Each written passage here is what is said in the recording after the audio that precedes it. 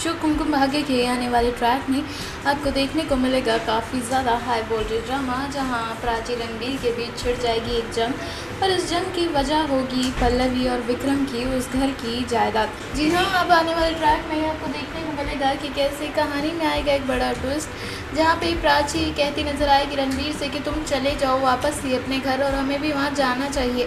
जिसके बाद पल्लवी की बातें रणबीर के कानों में गूंज रही होगी, जहाँ पर पल्लवी ने ये बात कही थी कि तुम इस घर में कभी भी आ सकते हो, पर पल्लवी ने ये भी कहा था कि प्राची इस घर में कदम नहीं रखेगी।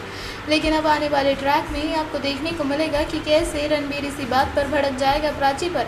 और कहेगा कि तुम्हें दौलत, शहरत और शान शौकत चाहिए तो तुमने मुझसे शादी क्यों की?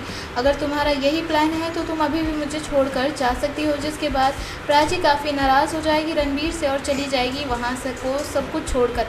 फिर जिसके बाद कहानी में कौन सा नया ट्विस्ट आएगा, इसकी सारी अपडेट हम आपको देंगे जल्द ही। तब तक लिखिए इंतज़ार और साथ ही साथ सब्सक्राइब ज़रूर कर लीजिए हमारा चैनल